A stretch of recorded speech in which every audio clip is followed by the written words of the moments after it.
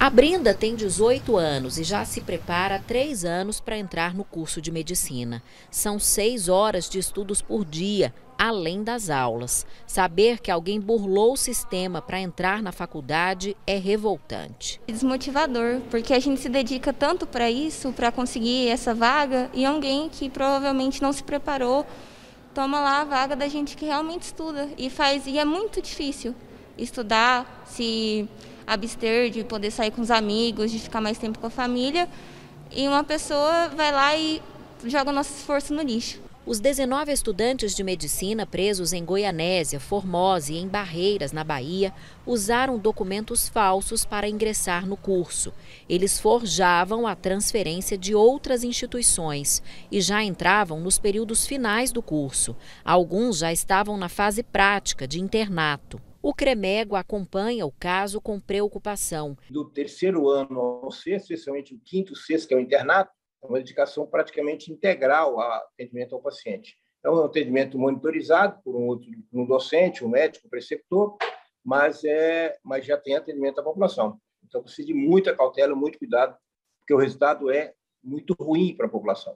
A universidade que recebeu esses alunos diz que identificou fortes indícios de fraude na documentação de transferência e entrou em contato com as supostas instituições de origem. Assim que confirmou a irregularidade, a polícia foi acionada.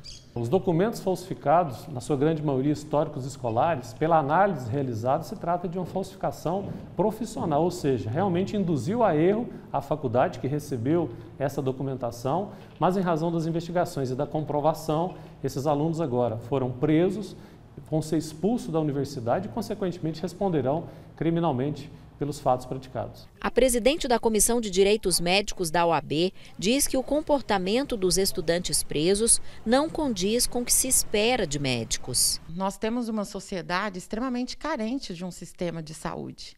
E nós esperamos do médico um atendimento de competência técnica. Da mesma forma que você vai no engenheiro, que você vai no dentista, você vai ao médico para poder ter um médico que tenha caráter, que tenha idoneidade, que saiba tratar o paciente bem, né? E às vezes ele não vai conseguir te curar, mas ele tem alguns conhecimentos técnicos para melhorar a sua qualidade de vida. Há suspeita de fraudes em transferências para outras universidades. Inicialmente foram presas 19 pessoas, mas há indícios de que várias outras pessoas também utilizaram de documento falso e podem estar cursando medicina de maneira irregular, ilícita, por isso o nome da operação clandestinos, em razão do uso de documento falso.